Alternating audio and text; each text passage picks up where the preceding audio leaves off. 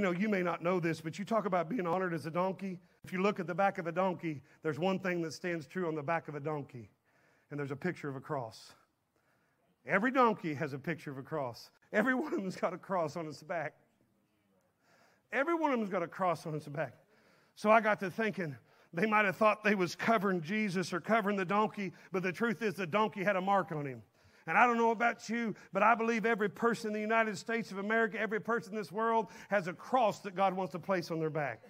He says, What do you mean by a cross? Well, he says, if you want to be my disciples, you have to deny yourself and take up your cross and then follow after me. That's what it means to be a Christian.